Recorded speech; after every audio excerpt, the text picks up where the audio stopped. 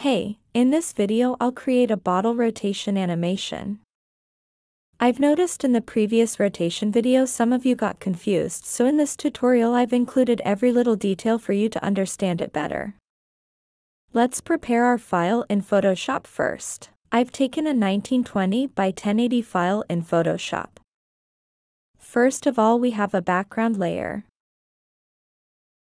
Then this bottle layer.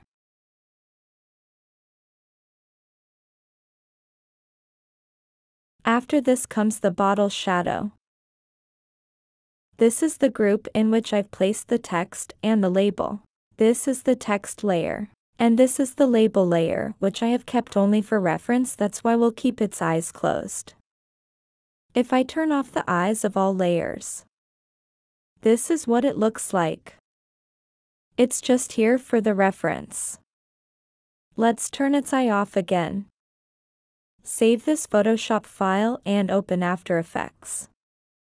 Let's import the file here. Select it. Make sure to import file as composition retain layer sizes. Import. Same import type here. OK. Drag and drop it on the timeline. Double click to see the layers. Here we have all the layers and the group. Let's lock the background layer because we won't work on it.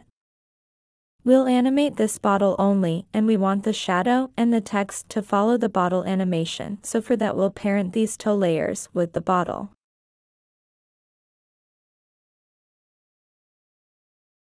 Click and drop this pick whip and drop it to the bottle. Also do the same with the text layer. Let's animate the position of the bottle. Press P for position. Add a keyframe.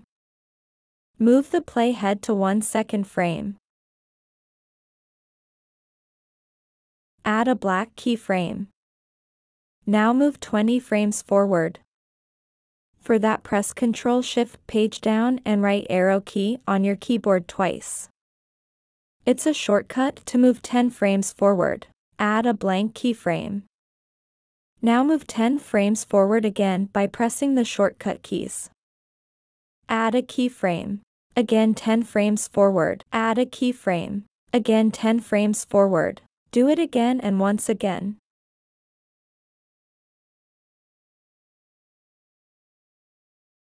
Place the playhead to the first keyframe. Move the bottle position all the way to the left.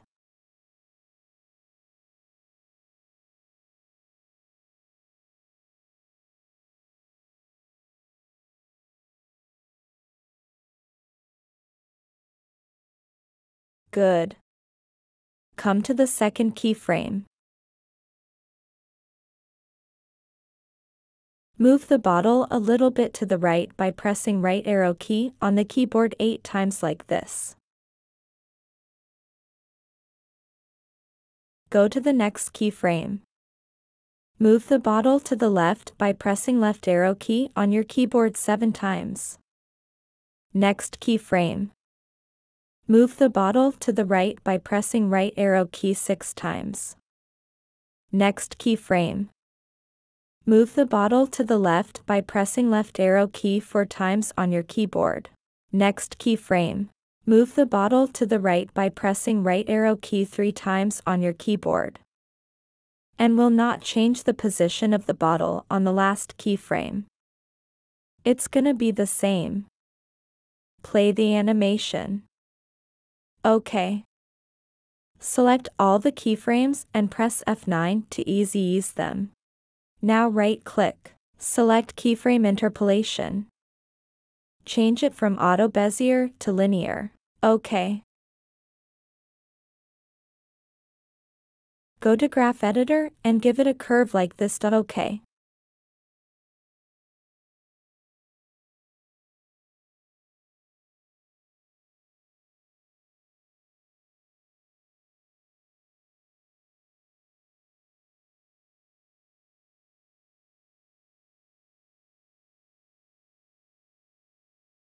Apply motion blur to both the layers. Let's animate the text now. Double-click on the group layer. For now let's turn on the eye if the label.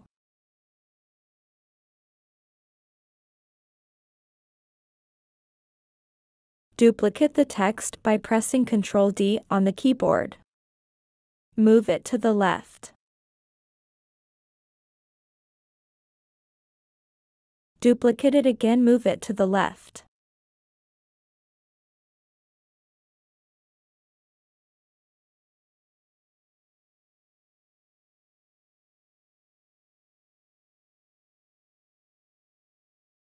Now duplicate it twice again.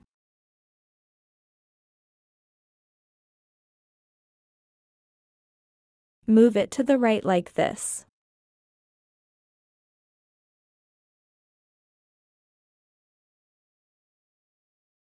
Now select all the text layers and pre-compose it. Layer. Pre-compose. Name it text. OK. Press P for position.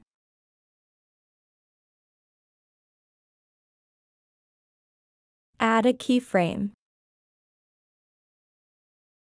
Move to 1 second frame. Add a blank keyframe. Go back to first frame. Move the text a little bit on the left side like this.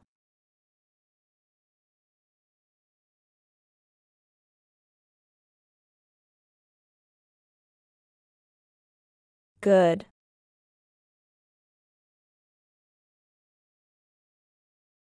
Select the keyframes and press F9 to easy ease them. We want the text to show only on the label for that duplicate the label layer by pressing Ctrl D on the keyboard. Move it on top of the text layer. Click on this bottom icon to expand the control panel. Now change the matte option from none to alpha matte.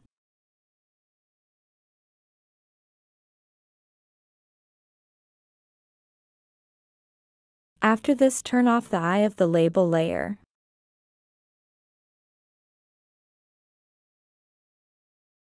Let's go back to our composition. Here we need the text to follow the to and fro motion of the bottle as well, so we will make a null layer. Go to Layer. New Null Object.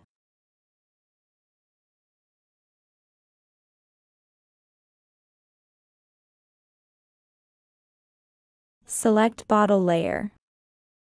Press U to see its keyframes. Move the playhead to the last keyframe. Here we'll apply the position animation to the null object and parent it to the text layer. Don't get confused. Follow the procedure and you'll know. Now in the text find a point as a reference to follow the movement of the bottle. I think this blue dot in the center is a good option. Place the null layer's anchor point on it.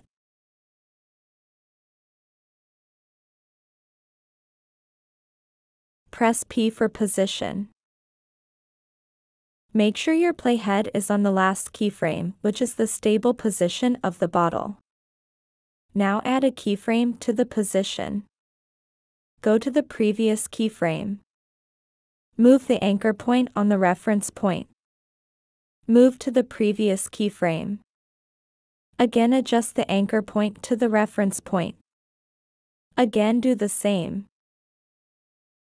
Again adjust the anchor point to the reference point. Move to the previous keyframe. And adjust the anchor point to the reference point. Move to the previous keyframe. Again adjust the anchor point to the reference point. And that's it. We're not gonna do it on the first keyframe. Select all the keyframes and press F9 to easy ease them.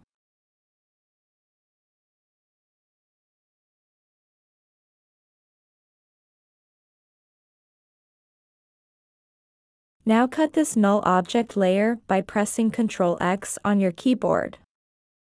Go to the group. Press Ctrl V to paste it here.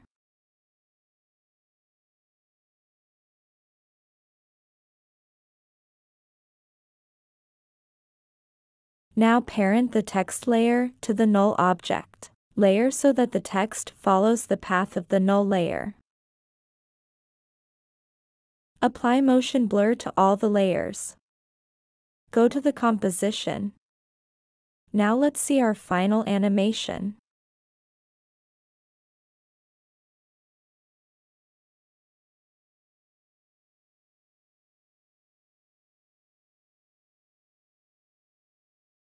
Thank you so much for watching. If you have any confusion feel free to ask me in the comments section and make sure to subscribe.